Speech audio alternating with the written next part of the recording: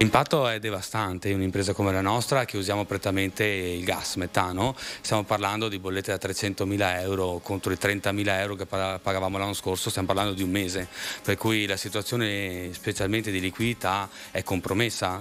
I prezzi di luce e gas volano alle stelle, la situazione per le aziende è insostenibile.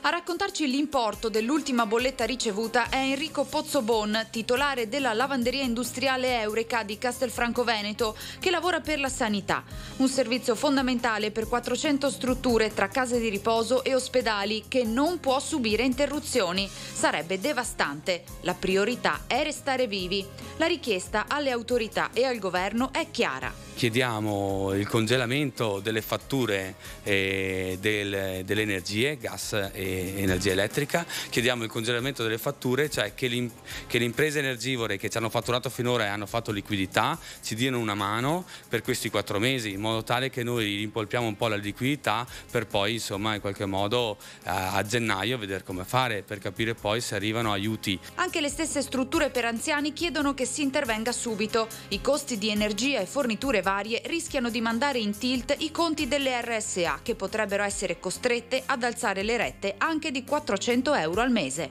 Eh, ad oggi i dati ci dicono che l'incidenza degli aumenti diretti, ovvero l'aumento del costo dell'energia e gas, aggiunti a quelli indiretti che sono i nostri fornitori di altre materie prime, ci portano oggi a stimare che siamo già intorno al 10-12 euro al giorno di aumento a retta che è un aumento insostenibile per le famiglie. Noi spendiamo ogni anno 1.200.000 euro per l'energia tra l'elettricità e il gas e quindi se raddoppierà o triplicherà, qui non si sa più che, che fine facciamo, sarà un disastro, ma è un disastro che peggiorerà ulteriormente perché anche le forniture eh, di servizi, faccio l'esempio più classico di un'azienda eh, che per forza è energivora come la lavanderia. Noi spendiamo anche nella lavanderia 1.200.000 100.000 euro l'anno tra la biancheria piana e la biancheria degli ospiti.